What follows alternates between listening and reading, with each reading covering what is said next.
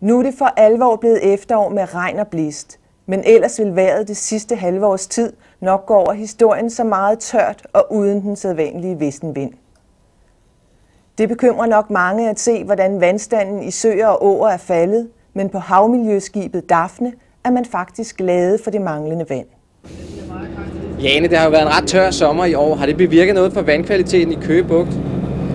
Ja, altså vi, vi har ikke sådan decideret kunne måle det er direkte endnu, men det er klart, at hvis man ser det teoretisk, så, så skulle det betyde, at vi fik en meget bedre vandkvalitet.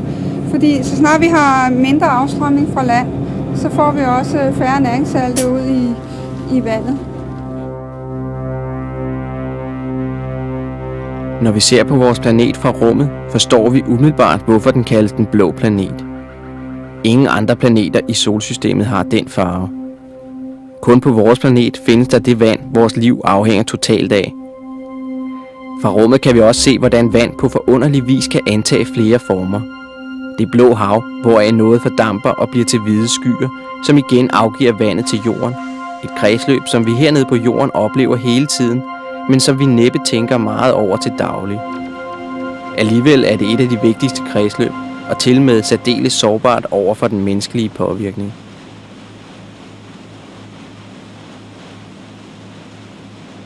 Ja, den kan jo sejle ret stærkt, den her båd, hva'? Ja, den løber nu med 16 knop. Ja, men det er selvfølgelig også et stort område, I dækker.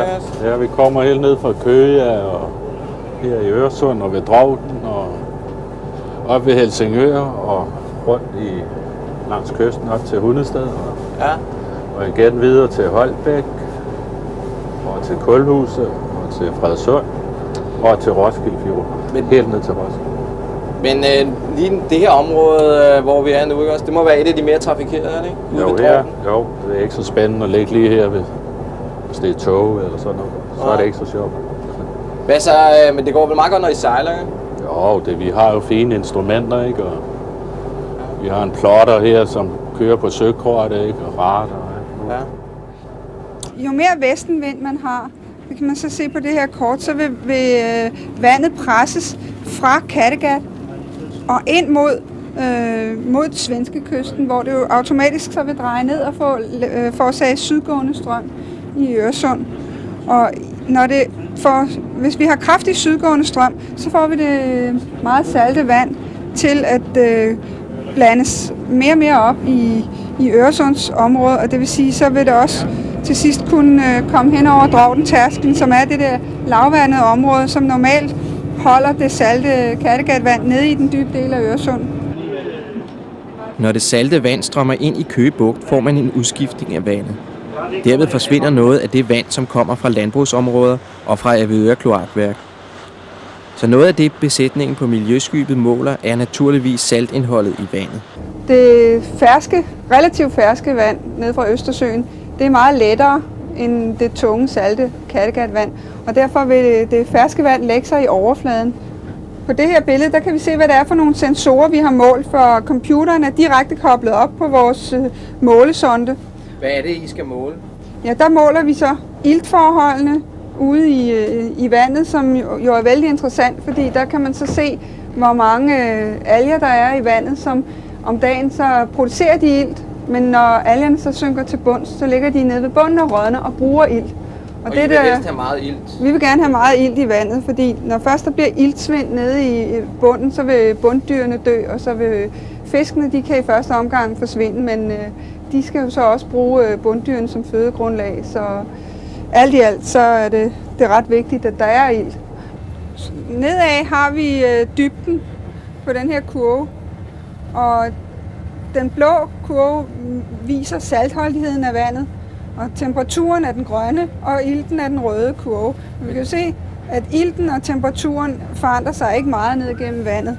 Men øh, saltholdigheden ændrer sig fra omkring 5 meter, så stiger saltkoncentrationen fra, hvor vi har omkring 8 promille, som jo er Østersøvand oppe i overfladen, så har vi øh, 19 promille salt i, i bundvandet, og det knækker omkring der ved, ved 5 meter. Hvad er det normale salt, altså for os, der bader i vandet? Han altså? Ja, nede i? Køge Bugt er det normalt øh, Østersøvand, vi har, og det er de 8 promille. Det, der så kan være lidt negativt ved det, set ud fra Køgebuks synspunkt, det er, at mange gange det, det saltevand, vi får ind, det er måske bundvand, der kommer helt op fra Kattegat, og bundvand fra Øresund, som kan have ligget længe og samlet næringssalte op, som er bundfældet fra de døde planktonalger. Og når det kommer ned med sin mange næringssalte, så kan det skabe iltsvind. Hele vandmiljøhandlingsplanen handler om at forsøge at nedbringe øh, udledning af næringssalte til havet, som jo er næring for planterne og dermed øh, øget risiko for iltsvind. Men de næringssalte, det kommer så ved åudløb og sådan nogle ting? For de kommer for eksempel fra, fra vores åudløb og fra vores, øh, fra vores spildevand. Så skal I måle øh, sigtdybden med den der? Ja, så, så har man sådan en hvid skive. Når man så sænker den ned igennem vandet, så på et tidspunkt, så kan man ikke se den mere. Og det kalder man sigtdybden. Okay. Normalt den... siger man, at planterne kan vokse ned til dobbelt så dybt, som, øh, som man kan se den. To okay. gange sigtdybden, det er grænsen for, hvornår der kan vokse planter og den skal ud over siden så? Ja. Hvad så, øh, hvordan har sigtdybden der, om man så må sige, det, det, i, øh, i det her område for eksempel? I øh, Øresund og Køge Bugt har vi som regel nogle af de bedste sigtdybder i Danmark, fordi vi har så meget øh, gennemstrømning. Den store strøm betyder, at vi ikke får så stor opblomstring af alger, og det vil sige, så bliver vandet relativt klart.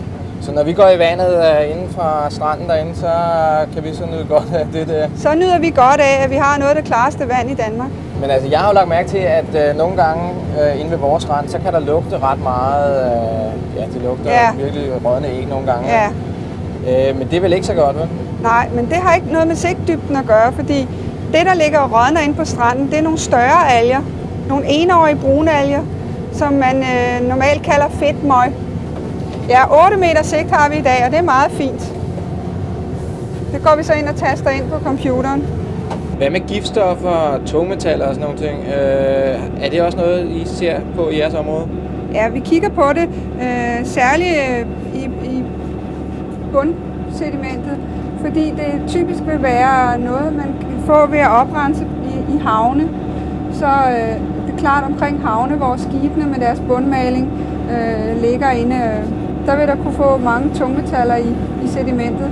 Og for at finde ud af, øh, hvor forurenet er havnen i forhold til, om, til det omgivet miljø, så tager vi med jævne mellemrum prøver af sedimentet og får en fornemmelse af, hvordan tungmetalindholdet er. Men er det så øh, stigende, det tungmetalindhold? Nej, man kan sige, Køgebugt igen adskiller Køgebugt sig ved at være bemærkelsesværdigt rent for øh, tungmetaller også. Og det har noget at gøre med, at Køgebugt er så kraftigt et gennemstrømningsområde, så der sedimenterer stort set ikke materiale ud, men vi har nærmest rent sandbund. Dykkeren undersøger også, hvordan havbundens iltindhold har det. Øverst ses et fint iltholdigt sandlag, men hvis man graver længere ned, kommer man til den døde havbund, hvor der ikke er ilt, men kun sort materiale. Prøven her er taget ud fra Avedøre Kloakværks udledning. Det giver selvfølgelig en del næringsstoffer, men påvirkningen er begrænset til området tæt på udledningen. Få kilometer væk ved Brøndby Strand ser sandbunden således ud. Der er kun iltet havbund. På den her station, der måler vi også øh, nogle, nogle flere målinger om algerne. Det viser noget om øh, varieteten i naturen, og hvad det er for nogle, øh, om det er arter, som øh, kan være giftige for eksempel, eller om øh, om det er den type arter, som, som der skal være i et naturligt i plante- og dyreliv. Det vand, vi har taget op i spanden, der hælder vi noget af det direkte ned i en flaske, sådan så det har samme koncentration af alger, som øh, vandet naturligt har fra vandhenteren. Og det bliver sendt til analyse, hvor man kan tælle, hvor mange alger der er i vandet af hver slags. Og samtidig så tager vi med, med vores net, som, som Kenneth har der, og der trækker vi nettet igennem vandet, så får vi sige en masse vand fra, og det vil sige opkoncentreret algerne, så kan vi bedre se, hvad udbuddet af alger er i vandet, men ikke hvor mange der er. Alle vores målinger indrapporteres til Danmarks Miljøundersøgelser, og vi, det er jo en del af vandmiljøhandlingsplanen, at vi tager de prøver. Så foruden at vi laver vores rapport fra Københavns Amts tilstand, så bliver, bliver der også lavet en rapport, hvor alle amternes øh, analyser bliver sammenlignet. Så man får en fornemmelse af, hvordan det danske vandmiljø har det. Vandmiljøet i Køge Bugt ser altså ud til at have det udmærket. Ganske vist er bestanden af torsk i den vestlige Østersø faldende. Det er den orange kurve på grafen her fra Danmarks Fiskeriundersøgelser. Faldet i bestanden mener man hovedsageligt skyldes det øgede fiskeri. Under alle omstændigheder ser det ud til, at de fisk, der er i Køge Bugt, er lige så sunde som fisk fra andre danske havområder.